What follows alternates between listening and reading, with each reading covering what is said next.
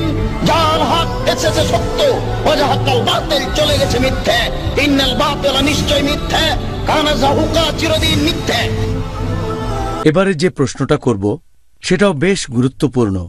এরকম কেন হয় যে, মাঝে মধ্যে কিছু মানুষকে বলতে শুনি ও আমার দোয়া কবুল করা হয়নি।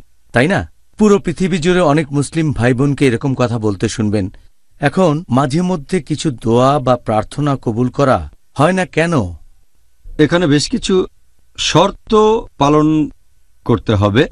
আর অনেক সময় দোয়া কবুল করা হয় না, কারণ এক নম্বর পয়েন্ট, হয়তো তার রোজগারটা হারাম, যেটা খাচ্ছে সেটা হারাম। হতে পারে যে উপায়ে সে টাকা উপার্জন করছে, সে ব্যবসাটাই হারাম, হয়তো লেনদেন করে রিবা, তার মানে সুদ। অথবা সে এমন ব্যবসা করে যেখানে ঘুষ দিতে হয়, অথবা সে এমন কোনো ব্যবসা করে যেখানে মিথ্যে বলা, প্রতারণা খুব স্বাভাবিক। এসব কাজ আসলে হারাম, তার মানে নিষিদ্ধ।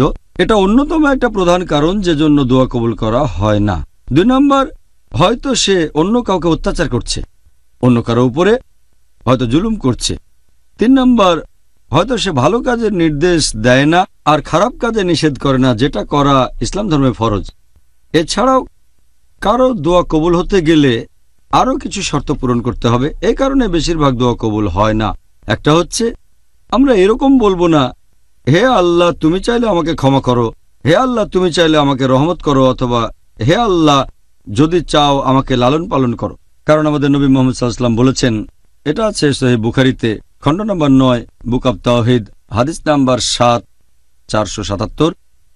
আমাদের নবী বলেছেন, তোমরা দোয়ার সময় এভাবে বলো না, হে আল্লাহ, তুমি আমাকে চাইলে ক্ষমা করো। হে আল্লাহ, তুমি চাইলে আমাকে দয়া করো। হে আল্লাহ, তুমি চাইলে আমাকে উদারতা দেখিও। কারণ আল্লাহ তাআলা যা চান তাই করেন, তাকে আদেশ করতে পারবেন না। এভাবে দোয়া করাটা পুরোপুরি ভুল। এই ভুলটা অনেক মানুষই করে থাকে, সে কারণে তাদের দোয়া কবুল হয় না। এছাড়াও অনেক সময় মানুষজন, তারা কি করে? আল্লাহ তালাকে অনেক নাম দেয়, যেটা আল্লাহ পবিত্রকরণে বলেননি অথবা নবীও কোনো হাদিসে বলেননি।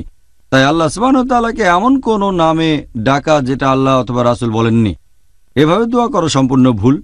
এরপরে অনেক লোক যখন দোয়া করে, তারা অনেকের জন্যই তখন দোয়া করতে থাকে।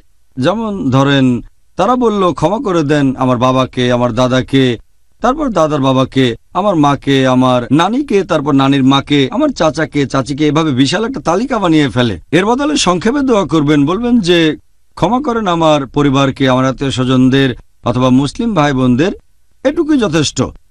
এছাড়া মানুষজন আরও কিছু একটা ভুল করে, তারা দোয়া করে, শব্দ করে, উচ্চস্বরে প্রার্থনা করে। আল্লাহ বলেছেন, পবিত্র কোরআনে সুরা আরফ, অধ্যায় নম্বর সাত, আয়াত নম্বর পঞ্চান্ন, যে, তোমাদের প্রতিপালককে ডাকো বিনীতভাবে এবং গোপনে। আল্লাহ পরের আয়াতে বলেছেন, সুরা আরব অধ্যায় সাত, আয়াত ছাপান্ন, তোমরা আল্লাহকে ডাকবে ভয় এবং আশার সাথে। মানুষজন সাধারণত দোয়া করার সময় এই ভুলগুলো করে থাকে। আর এছাড়াও অনেক সময় আমরা যখন আল্লাহ তালার কাছে কিছু চাই, হয়তো সব মেনে চললাম, কিন্তু তারপরও আল্লাহ দোয়া কবুল করলেন না। আল্লাহ পবিত্র করণে বলেছেন সুরা বাকারা, অধ্যায় নম্বর দুই, আয়াত নম্বর দুইশো ষোলো, যেটা অপছন্দ করো সেটা হয়তো তোমাদের জন্য ভালো, আর যেটা পছন্দ করো সেটা হয়তো তোমাদের জন্য ভালো না। আল্লাহ জানেন, তোমরা জানো না। এখন একজন মুসলিম হয়তো আল্লাহ তালার কাছে দোয়া করতে পারে, হে আল্লাহ, আপনি আমাকে দেন একটা মোটর সাইকেল বা বিএমডাব্লিউ, হাজার সিসির বিএমডাব্লিউ গাড়ি দেন। আর আল্লাহ দোয়া কবুল করলেন না। কারণ আল্লাহ জানেন, যদি তাকে বিএমডাব্লিউ দেওয়া হয়, হয়তো জোরে চালাবে, তারপর তার অ্যাক্সিডেন্ট করে পা ভেঙে ফেলবে। এখানে আল্লাহ তালা আসলে দোয়া কবুল না করে তার ডাকে সাড়া দিয়েছেন। আল্লাহ সবান তালা তিনি তো সবকিছুই জানেন, ভবিষ্যতে জানেন। যেটা পছন্দ করেন সেটা হয়তো আপনার জন্য ভালো না। আল্লাহ জানেন কিন্তু আপনি জানেন না। যে আল্লাহর কাছে দোয়া করার সময় তার সাথে দরাদরি করার অনুমতি কি আছে? প্রশ্নটার ব্যাপারে আমাদের আরও বলা হয়েছে, যেমন ধরেন, আল্লাহর কাছে কিছু চাইলাম অথবা ক্ষমা চাইলাম, তার বদলে আমার থেকে কিছু একটা নিয়ে যাও। যেমন, হতে পারে আমার স্বাস্থ্য। আল্লাহর কাছে দোয়া করার সময় মনে রাখতে হবে যে, আল্লাহ তালার দয়া এটার কোনো সীমা নেই। তার দয়া, তার করুণা, এগুলোকে আমরা সীমাবদ্ধ করতে পারি না, আমরা দরাদরি করতে পারি না। আমরা আল্লাহ তালাকে এভাবে বলতে পারি না যে, তাড়াতাড়ি শাস্তি দাও অথবা বললেন, এই জিনিসটা নিয়ে, ওই জিনিসটা দাও। দরাদরির মতো আমাদের বুঝতে হবে যে আল্লাহ তাআলা পরম দয়ালু, পরম করুণাময়। আল্লাহ পবিত্রকরণে বলেছেন সুরা গাফির, অধ্যায় নম্বর চল্লিশ, আয়াত নম্বর ষাট, তোমরা আমাকে ডাকো, আমি তোমাদের ডাকে সাড়া দেব। আল্লাহ আরও বলেছেন সুরা নিসা, অধ্যায় চার, আয়াত নম্বর একশো সাতচল্লিশ, তোমাদের শাস্তিতে আল্লাহর কি কাজ? যদি তোমরা ইমান আনো আর কৃতজ্ঞতা প্রকাশ করো। তার মানে দরদরি করে কোনো লাভ নেই আল্লাহ সবান তাল্লাহর সাথে। যেটা চান সেটা যেন দোয়া করেন, লেনদেন করতে পারবেন না, কারণ তিনি পরম দয়ালু। এটা করলে ক্ষতি হবে আমাদেরই, যদি এটা করি। আমার একটা হাদিস মনে পড়ে গেল সহি মুসলিমের। খণ্ড নম্বর চার, বুক অব জিকির, হাদিস নাম্বার ছয় হাজার পাঁচশো এক। একবার মোহাম্মদ সাল্লা সাল্লাম একজন মুসলিমের কাছে গেলেন যে অসুস্থ। তাকে দেখতে গেলেন, সেই লোক তখন খুবই দুর্বল। হাদিস বলছে, মুরগির বাচ্চার মতো দুর্বল। নবী মোহাম্মদ সাল্লাহ সাল্লাম তাকে বললেন যে, তুমি কি আল্লাহ সুবাহতাল্লাহর কাছে কোনো কিছু চেয়েছিলে? লোকটা বলল হ্যাঁ আমি আল্লাহ তালার কাছে দোয়া করেছি যে, আমাকে তাড়াতাড়ি করে শাস্তি দাও। যে শাস্তিটা পেতাম আখিরাতে, সেটা এই দুনিয়াতেই দিয়ে দাও। তখন আল্লাহ রাসুল বললেন, আল্লাহ তালার দেয়া শাস্তি সহ্য করার ক্ষমতা তোমার নেই। তোমার আসলে বলা উচিত ছিল, রব্বানা আতিনা ফিদ দুনিয়া ও ফিল আখিরাতি কিনা নার। এই দোয়াটা আগেও বলেছি যে, হে প্রতিপালক, আমাদের কল্যাণ দাও এই দুনিয়াতে আর আখিরাতে আর আমাদের দোজখের আগুন থেকে রক্ষা করো। সুরা বাকারা, অধ্যায় নম্বর দুই, আয়াত নম্বর দুইশো এক। তারপর নবী সাল্লাহ সাল্লাম তার জন্য দোয়া করলেন। এরপরে সে লোক সুস্থ হয়ে উঠল। তাহলে আমাদেরকে এটা বুঝতে হবে যে, আল্লাহ সাবানতাল্লাহ দয়া, করুণার কোনো সীমা নেই। আমরা যে পাপি করি না কেন, অতীতে করা পাপগুলো যাই হোক না কেন, সবসময় আল্লাহ সাবানতাল্লাহর কাছে আমরা ক্ষমা চাইতে পারি আর তিনি হলেন পরম দয়ালু পরম করুণাময়। ওহ আল্লাহ তাআলার কাছে দোয়া করার সময় এই ব্যাপারটা খেয়াল রাখতে হবে। আর আমি আব্দুল রাজাক বিন ইউসুফ অত পড়াশোনা তো জানি না। আমি বিষয়ের উপরে কিছু হাদিস অনুবাদ করে আপনাকে একটু পরকালমুখী করার চেষ্টা করি। একটু যেন আমল করতে পারেন। এই চেষ্টা করি। আজকের দোয়া প্রার্থনা ও দোয়া কবুলের সত্য আল্লাহ তালা বলছেন উদৌলি আস্তা যেগুলা করে। পৃথিবীর মানুষ, তোমরা আমাকে ডাকো, আমি তোমাদের ডাকে সাড়া দিব। আবার আল্লাহ তালা বলছেন ওয়েদা এবাদে আননি। মোহাম্মদ সাল্লাম মানুষ যদি আমার ব্যাপারে আপনাকে বলে তাহলে আপনি বলে দেন যে ইন্নি করিব। আমি খুব নিকটে আছি। উজিব দাওয়াতা দাইয়ে যা আমি। যখনই আমাকে কেউ ডাকে, তখনই আমি তার ডাকে সাড়া দিই। ডাকলেই আমি বলি আচ্ছা ঠিক আছে, কি বলছো বলো? আনাস রাজিয়াল্লাহ তাআলা আনহু বলেন রাসূল সাল্লাল্লাহু আলাইহি ওয়াসাল্লাম বলেছেন, আল্লাহ তালা বলেন মানে হাদিসে কুদসি, আল্লাহ তালা বলেন, ইয়াবনা আদম মা দাওতানি ও রাজাওতানি এ আদমের ছেলে মেয়ে শোনো, তুমি যেভাবে ডাকো, আমি সেভাবে থাকি।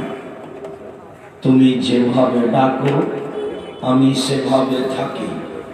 তুমি যেভাবে আশা পোষণ করো, সেভাবে আমি পূর্ণ করে থাকি। তোমার আশা যেমন, আমার পূর্ণ করা তেমন। তোমার ডাকা যেমন, আমার সাড়া দেওয়া তেমন তেমন। তুমি যেভাবে ডাকো, আমি সেভাবে থাকি। তুমি যেভাবে আশা পোষণ করো, আমি সেভাবে পূর্ণ করে থাকি। ওলা ওয়ালি, আমি পরোয়া করি না, তুমি কত বড় পাপি। আমি পরোয়া করি না, তুমি কত বড় পাপি। আমি পরোয়া করি না, তুমি কত বড় পাপি। তুমি যেভাবে ডাকো, আমি সেভাবে থাকি। পরের বাক্যে বলছেন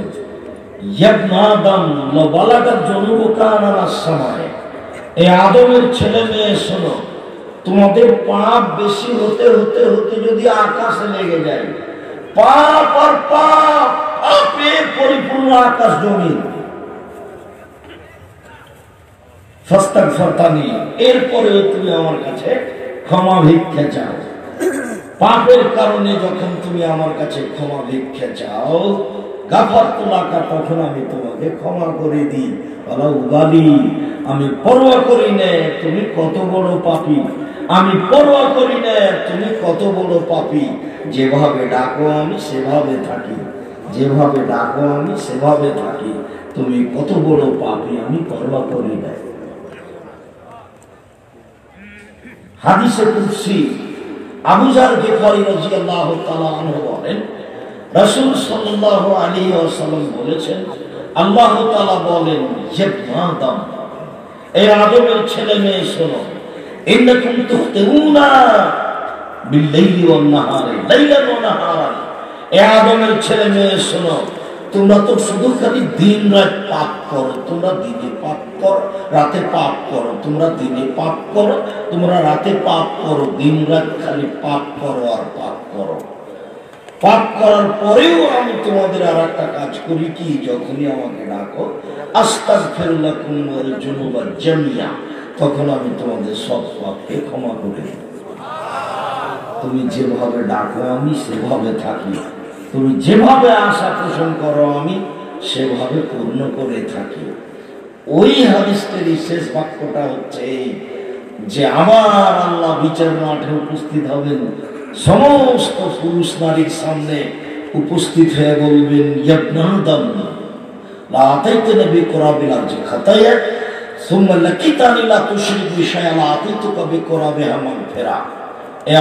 ছেলে মেয়ে, শোনো তোমরা আজকে বিচারের মাঠে উপস্থিত হয়েছ। পাপ আর পাপ নিয়ে, পাপ আর পাপ। আকাশ, জমিন, পরিপূর্ণ পাপ। আমিও আল্লাহ এখানে উপস্থিত হয়েছি বিচারের মাঠে।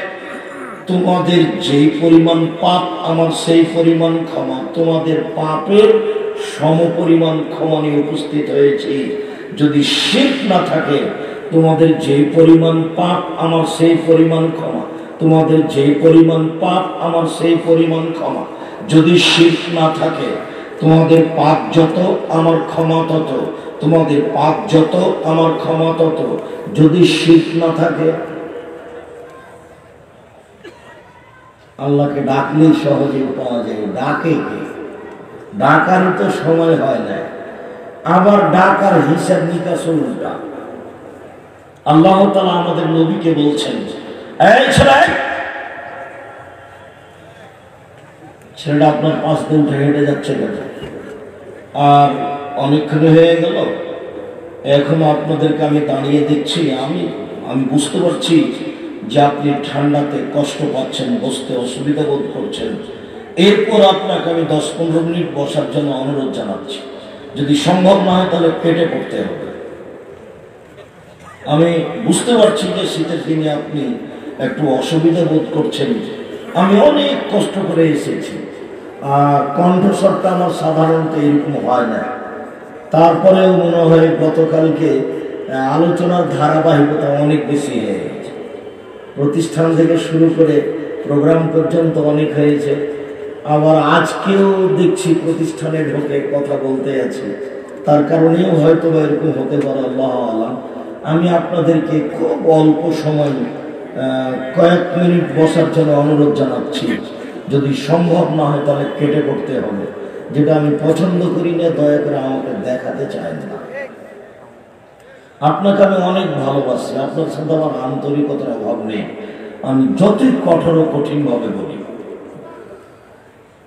আবদুল্লাহ যে বক্তব্য দিয়েছে, সেই বক্তব্যে আমাদেরকে বাকি জীবন কাঁধে করে নিয়ে বেড়াতে হবে। আমল করতে হবে, এটাই বারবার চর- প্রচার করতে হবে। এটা আপনাকে সঠিক ও সরল পথে নিয়ে যাবে। সেখানে যদি এভাবে অল্প হয়, তাহলে বেঁচে যাব। আর যদি অনেক কিছু করলাম, মুখটা বন্ধ করতে পারলাম না, কেউ কারোর বিরুদ্ধে কিছু বলতে থাকলাম, তখন আর তাহার যুদ্ধ কুলাম রাসুল সাল্লামকে যখন জিজ্ঞাসা করা হলো, বাঁচার পথ কি? কীভাবে জাহান নাম থেকে বাঁচব? তখন তিনি তিনটা কথা বললেন, যেটা আপনাকে আমি সবসময় বলে থাকি। প্রায় সব মোবাইলে সব বক্তব্যে আছে। তার একটা হলো আলজের লেসান এক মুখখান বন্ধ করো জান্নাত হবে। মুখখান বন্ধ করো জান্নাত হবে। দুই জরুরি প্রয়োজন ছাড়া বাড়ি বাইরে যাওয়া না জান্নাত হবে। জরুরি প্রয়োজন ছাড়া বাড়ি ত্যাগ করতে পাবেন না আপনি পাবেন না। আপনার বউ তো বহু দূরের কথা। হাটে বাজারে যাওয়ার তো প্রশ্নই আসে না। কই আমাদের বউ যদি হাটে বাজারে যায়, এটা আমরা শুনতে পাই, তাহলে তো অজ্ঞানে পড়ে যাবে, এই কি কথা? আর আপনার রোজ হাটে বাজারে চলছে। আপনার স্ত্রীর পেটে বাচ্চা আছে, ও হাটে বাজারে যায়। ওর ওপরে যে যেসব খারাপ দৃশ্য দেখে, ওটা তার বাচ্চার উপরে, তার উপরে পড়বে। রাসুল সাল্লাহ আলি সাল্লাম একজন লাশ নিয়ে যাচ্ছে কবরের দিকে, তাকে দেখে বলছে অল মুস্তারা হবে সাহাবিগণ কথা বুঝতে পারলেন না। তখন আল্লাহ রসুল বলছেন, শোনো এই লোকটা যদি পাপি হয়, তাহলে ওকে তাড়াতাড়ি কবরে রাখো, তাহলে তোমরা বাঁচবা। আর ও যদি নিকার হয়, তাহলে তাকে তাড়াতাড়ি কবরে রাখো, আর ভালোটা ওর উপরে চালু হয়ে যাবে। তাহলে একটু দুনিয়াতে কষ্টের মধ্যে আছে, খালি কবরে রাখলেই ভালোটা পেয়ে গেল। তো তাড়াতাড়ি করো। তারপরে বলছেন, শোনো, পাপীদের পাপের প্রতিক্রিয়া দেশের উপরে পড়ে, মানুষের উপরে পড়ে, গাছপালার উপরে পড়ে পশু প্রাণীর উপরে পড়ে। আপনার পাপের কারণে আপনার গাছের ফল কম হতে পারে। আমি বলিনি এই কথা মোহাম্মদ সাল্লাম বলছে আপনার বউ বাজারে ঘুরছে, কত ছবি দেখছে আইলা মাইলা আসকারা মাস্কারা, কত কি সুন্দর করে কিনলেন, বউকে ঝকমকে করে সাজানোর জন্য। তারপর দেখি যে সাজগোজ করে রিক্সাওয়ালা ভোগ করে। আপনি যে পুরুষ, এটা আমার তো মনে হয় না। আসলে আপনি পুরুষ, না আসলে আপনি অন্য কিছু? না আপনার গায়ে রক্ত, না না সবই পুরুষ। আমার এটা বুঝে আসে না, এটা আপনার কীভাবে সহ্য গাইরিয়াতে একটা আত্মমর্যাদা থাকা দরকার। আর নিজেকে কাপুরুষ মনে করবেন কেন? আরে দেশ চালাতে না পারেন, বউকে তো চালাতে পারবেন। বউকে চালাতে যদি না পারা যায়, তাহলে বিবাহ করতে নিষেধ করা আছে। বউ পালা মানে হাতি পালা। ওর কথা কর্মকাণ্ড লেনদেন, অনেক কিছু। যার কারণে আল্লাহ রসুল প্রথমেই সতর্ক করেছেন, পৃথিবীবাসী সাবধান। বিবাহ করার পরে নিয়ন্ত্রণ ক্ষমতা, মোহরের ক্ষমতা, পুরুষত্ব শক্তি অর্জন করো। স্বভাব। হে যুবক দল মানিস্তাতামিন কুমুল বাদ ফালিয়াতা জাওয়াজ তোমাদের যাদের ক্ষমতা রয়েছে, নিয়ন্ত্রণ ক্ষমতা, মোহরের ক্ষমতা, তারা যেন বিবাহ করে।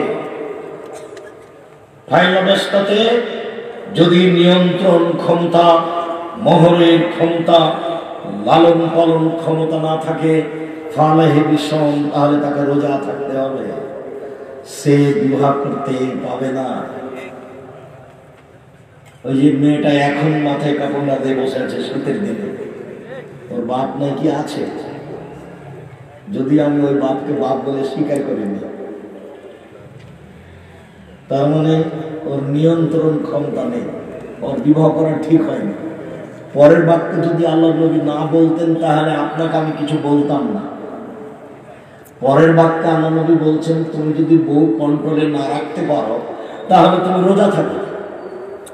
বুঝাতে পারিনি কথা। এটা আল্লাহ রসুলের আদেশ। নিয়ন্ত্রণ ক্ষমতা এক মিনিট দেখাই, তারপর ওখানে আবার ফিরে যাচ্ছে। নিয়ন্ত্রণ ক্ষমতা। দেখবেন, এক মিনিট। দেখেন একটু।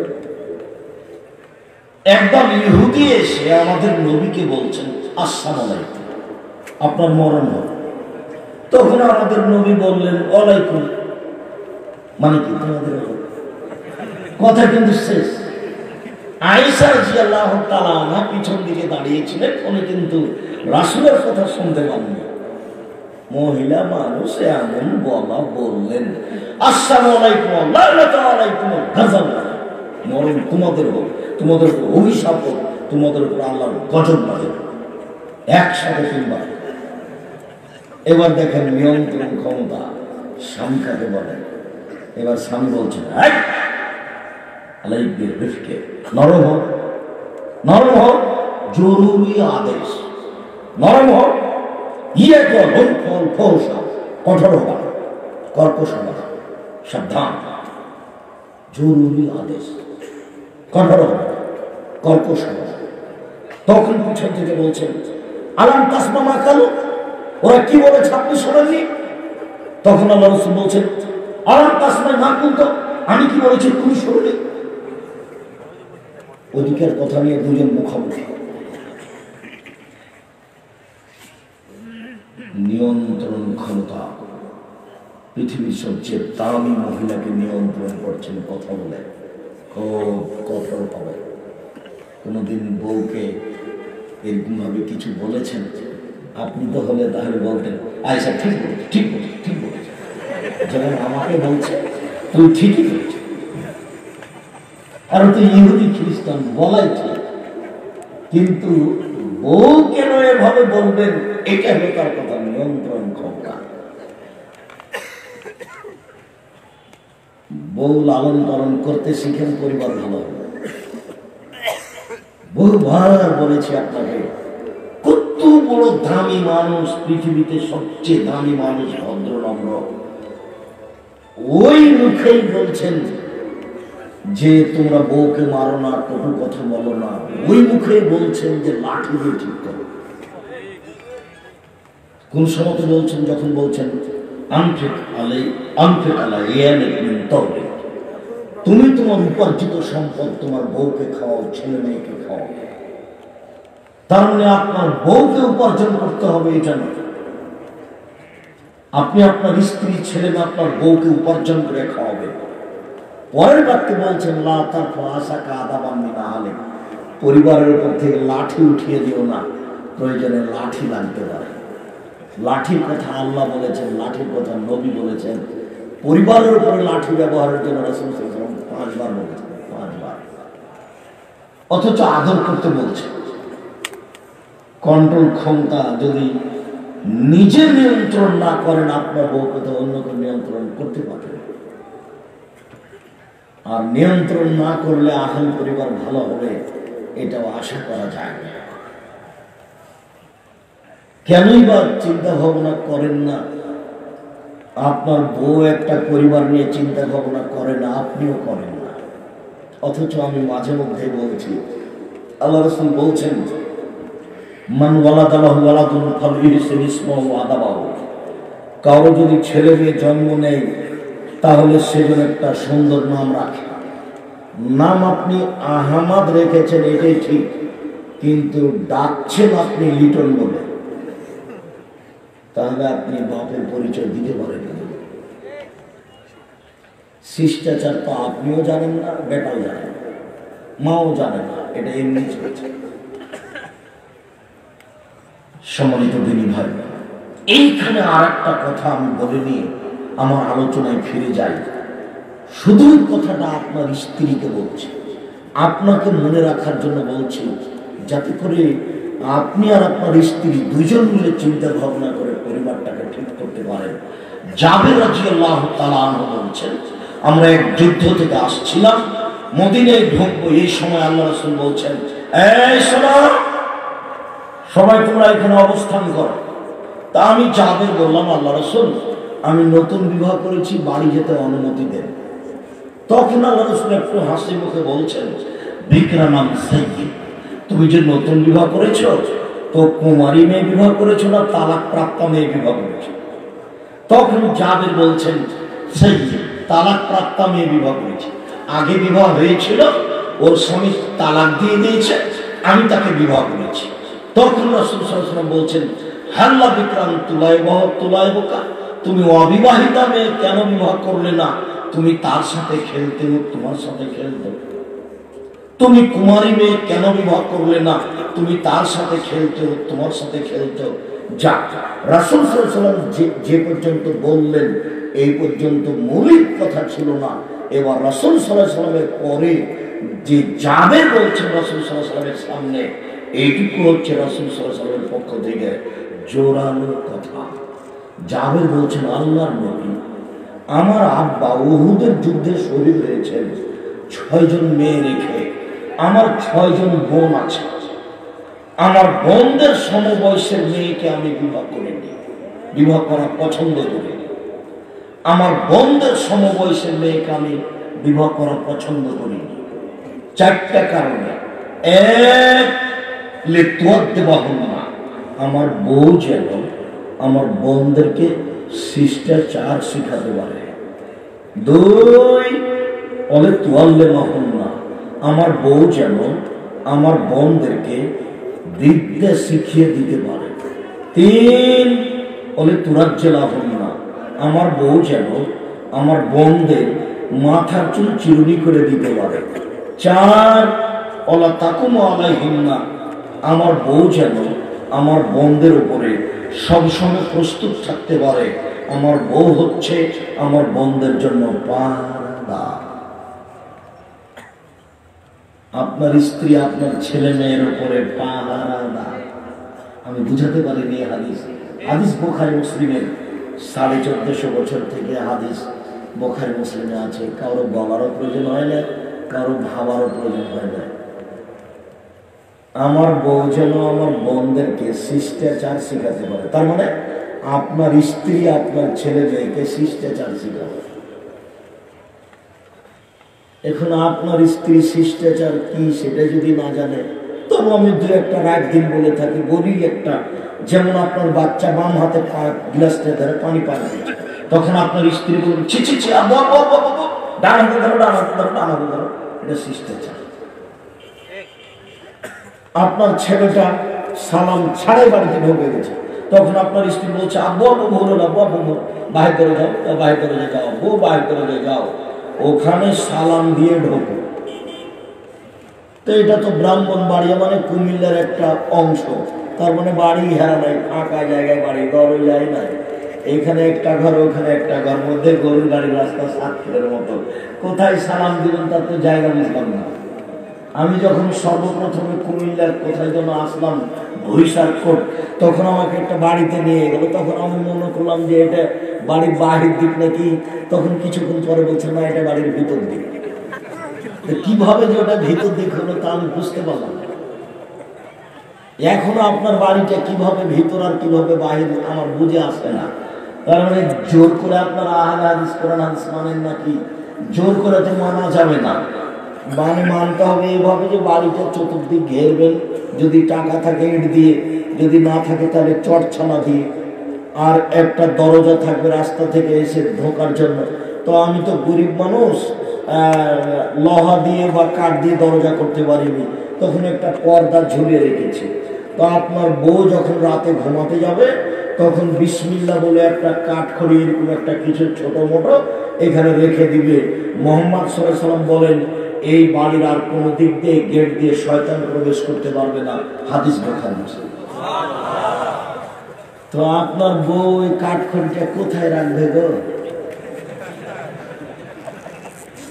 চব্বিশ ঘণ্টার মধ্যে বাড়ি ঘর পরিবর্তন করেন। বউ রাখার মতো একটা ব্যবস্থা করে। ধনী মানুষ ইট দিয়ে করেন, গরিব মানুষ একটা চট ছালা দিয়ে করেন। কীভাবে দিন কাটছে এটা আমি বুঝতে পারি না আমরা যদি আপনাদের বাড়িতে আসি, তাহলে আমরা আপনাদের বাড়িতে মনে করব ট্রেন স্টেশন আপনার বাড়ি আমাদের কাছে ট্রেন স্টেশন বুঝেননি কথা? তার মানে আপনাদের বাড়িতে আমরা স্বাভাবিকভাবে বসবাস করতে পারব না। মনে করব যে কখন যে কোন দিক দিয়ে মানুষ ঢুকছে, এটা বাড়ি হয়নি। বাড়ি একে বলে না। একটু পরিবর্তন করেন। আর বউ তখন বলবে আব্বু ভাই আব্বু সালাম দিয়ে ঢোকো। এটা শিষ্টাচার। আপনার বাড়িতে মোবাইলটাতে রিং হচ্ছে। তো আপনার মেয়ে অন করে দিয়ে বলছে, হ্যালো। তখন আপনার স্ত্রী বলো না আব্বু না আব্বু ছিছি আব্বু, হ্যালো বলে কুকুরকে ডাকে। আব্বু বলো, আসসালাম আলাইকুম। যদি হিন্দু হয় তাহলে বলো, ধন্যবাদ। কি বলছিলেন? আর যদি হিন্দু না হয়, বুঝতে না পারো, তাহলে বলো, আসসালাম আলাইকুম। হিন্দু হোক, মুসলমান হোক, বৌদ্ধ হোক, খ্রিস্টান হোক ডম হোক, চামার হোক, মুচি হোক, মেথর হোক, যে হোক না কেন আসসালাম আলাইকুম এই ছেলে তোমাদের একটা গাভী আছে, গরু আছে বাড়িতে। গরু গাভীটা যখন গোহালে নিয়ে যাও রাতে, তখন গরুটা কি সালাম দেয়? তুমি যখন ঢোকো তখন সালাম দাও। আব্দুল রাজাক সাহেব আমাদের বাড়িতে তো সালাম দেওয়ারই জায়গা নেই। যার জন্য সালাম দিই না তো তাহলে গরু আর তুমি দুইটাই সমান। কেউ সালাম দেবে তুমিও দেও না। বুঝেও, বুঝে না, ওরা অন্তর আছে, বুঝে না। দেখেও দেখে না, ওরা চক্ষু আছে, দেখে না।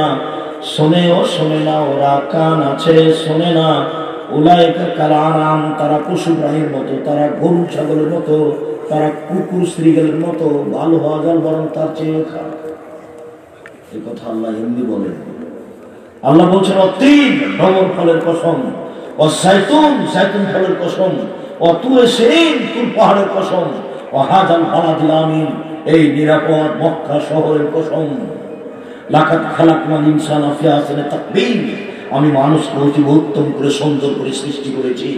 যখন আমাকে মানেনি তখন তাকে আমি সর্বদণ্ড উল্টা ফিরিয়েছি। সে তখন পশু প্রাণীর মতো, গরু ছাগলের মতো কুকুর স্ত্রীদের মতো কেন আপনার গতিনীতি পরিবর্তন করবেন না? আমার বউ আমার বোনদের শিষ্টাচার শিখিয়ে দিবে, বিদ্যে শিখিয়ে দিবে। আপনার স্ত্রী আপনার ছোট্ট বাচ্চাটাকে ফজরের টাইমে কোলে নিয়ে বলবে, আম্মু, বলো আম্মু, আলহামদুলিল্লাহ আখিয়ানা বাদামা মাতানা ইলাইহি নুশুর ওই আল্লাহর প্রশংসা যে আল্লাহ আমাকে মরণ দিয়েছিলেন আবারও জীবিত করলেন। তাহলে তো হলো শিখিয়ে দেওয়া। এত কথা কেন এখানে? সম্মানিত দিনী ভাই, দোয়া যে করে আল্লাহর কাছে, আল্লাহ তার উপরে খুশি হন। দোয়া যে করে না, আল্লাহ তার উপরে অসন্তুষ্ট হন। দোয়া কবুলের জন্য শর্ত হচ্ছে হালাল রুজি। দুই তিনটে হাদিস বলে আলোচনা শেষ করছি। অনুরোধ পরিবেশ নষ্ট করার চেষ্টা করবেন না। আমি আপনাকে কিছু জোর করে মন্তব্য করব, অতদূর পর্যন্ত আমি যেতে চাচ্ছি না, তবে আপনাকে আমি ভালোবাসি। খুব ভদ্রতার পরিচয় দিয়ে কয়েক মিনিট কথা শুনবেন। প্রথমে, হালাল রুজি ছাড়া দোয়া কবুল হবে না। নোমান ইবনে বাশির রাদিয়াল্লাহু তাআলা বলেন রাসূল সাল্লাল্লাহু আলাইহি সাল্লাম বলেছেন, ইন্নাল্লাহ তাইয়্যিব, লা ইয়াকবালু ইল্লা তাইয়্যিবা। আল্লাহ নিজে পবিত্র পবিত্র ছাড়া কবুল করেন না। সুম্মা যাকারা রাজুলা, তারপর আল্লাহর নবী একটা লোকের আলোচনা করলেন, ইতুল সাফারা যে লোকটা লম্বা সফরে আছে আশা শাক বড় মাথার চুলগুলি এলোমেলো হয়ে আছে ঠিক মতো গোসল করেনি ঠিক মতো চিরুনি করেনি, সফরে থাকলে যা হয়, বিপদে পড়ে অয়মুক্তাই হে হাত দুটো আল্লাহর দরবারে উঠিয়েছে। হাত উঠালে দোয়া কবুল হয়। বিপদে পড়ে সফরে হাত উঠালে আরও বেশি দোয়া কবুল হয়। একে তো বিপদে পড়েছে, একে তো সফরে আছে, একে তো আবার হাত তুলে দোয়া করছে। হাত তুলে দোয়া করলে খালি হাত আল্লাহ ফিরিয়ে দেন না। খালি হাত ফিরিয়ে দিতে আল্লাহ লজ্জা পান। কেমনে খালি হাতটা আমি ফিরিয়ে দিই? হাত তুলে বলছেন, যে আল্লাহ আমি বিপদে পড়েছি, তুমি আমাকে উদ্ধার করো। দুঃখিত। মাতামহ হারামন, তার খাদ্য আছে হারাম। মাসরাবহ হারামন, তার পানি আছে হারাম। মালবাসহ হারামন, তার পোশাক আছে হারাম। গুসিয়াবিন হারামে, তার জীবিকা নির্বাহ হারাম। আল্লাহ ইস্তাজবুল্লাহু তার দোয়া কি করে কবুল হতে পারে? তার দোয়া কবুল হবে না। ভাত হারাম থাকলে দোয়া কবুল হবে না। পানি হারাম থাকলে দোয়া কবুল হবে না। এই পোশাক হারাম থাকলে দোয়া কবুল হবে না। বিপদে পড়ে আল্লাহর দরবারে হাত তুলে দোয়া করছে, তবুও তার দোয়া কবুল হচ্ছে না। বোঝা যাচ্ছে রুজি হালাল না হলে দোয়া কবুল হবে না। যদিও দোয়া কবুলের জন্য বিনয়ী ভাব লাগে, মহান আল্লাহ আমাদের নবীকে বলছেন ফাইলা ফারাক্তা ফাংশন ওয়াইলা রব্বিকা ফারগা মোহাম্মদ সাল্লাল্লাহু আলাইহি সাল্লাম, আপনি যখন দুনিয়াবি কাজ থেকে অবসর হবেন তখন আপনি কঠোর শ্রমে আত্মনিয়োগ করুন। আর আপনি আমাকে যা বলবেন তা বিনয়ের সাথে কান্নাকাটি করে বলুন। আল্লাহর কাছে দোয়া প্রার্থনা করলে বিনয়ের সাথে কান্নাকাটি করে বলতে হবে তাহলে কবুল হবে। রংপুর, দিনাজপুর, লালমনিরহাট নীলফামারী কুড়িগ্রাম, পঞ্চগড়, ঠাকুরগাঁও, জয়পুরহাট, বগুড়া, এইসব ডিস্ট্রিক্টের ভাষায় কাউ বাউ করে বলুন। ঢাকা, গাজীপুর নরসিংদী, নারায়ণগঞ্জ, এইসব ডিস্ট্রিক্টের ভাষায় আপনার কাকতি মিনতি করে বলুন। আর কুমিল্লা ফরিদপুর, ব্রাহ্মণবাড়িয়া এইসব ডিস্ট্রিক্টের ভাষায় বলতে পারছে না। তবু আপনি বলেন, কারও বারো করে বলুন।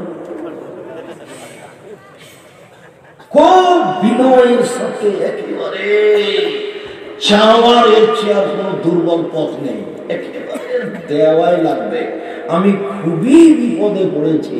নৌকা ডুবে যাচ্ছে, ডুবে গেছে। তুমি ছাড়া আর কেউ বাঁচাবে না। এরকম পর্যায়ে যেমন ডাকা, এরকম ডাকা ছাড়া দোয়া কবুল হবে আর এটা তো ব্রাহ্মণ বাড়িয়া মানে কি? দোয়া দেখবেন? দেখবেন ব্রাহ্মণ বাড়ির দোয়া? আসসালামু আলাইকুম রহমতুল্লাহ, আসসালামু আলাইকুম রহমতুল্লাহ, আলহামদুলিল্লাহ। আছে, কান্নাকাটি আছে, বুঝতে পারলাম না, কীভাবে দোয়া করবেন আল্লাহ আমাদের নবীকে আদেশ করছেন যখন আপনি দুনিয়াবি কাজ থেকে অবসর হবেন, তখন আপনি কঠোর শ্রমে এবাদতে আত্মনিয়োগ করুন। আর আপনি আমাকে যা বলবেন তা বিনয়ের সাথে কান্নাকাটি করে বলুন। সম্মানিত দিনী ভাই বোন দোয়া প্রার্থনার জন্য হালাল এবং কান্নাকাটির জন্য অনুরোধ জানাচ্ছি। এরপরে তিন ধরনের দোয়া কবুল হবে না, এটা একটু শুনে রাখুন। আবু হুরায়রা রাদিয়াল্লাহু তাআলা আনহু বলেন রাসূল সাল্লাম বলেছেন, ইস্তাজাবু লিলাহ মানুষের দোয়া কবুল করা হয়। তবে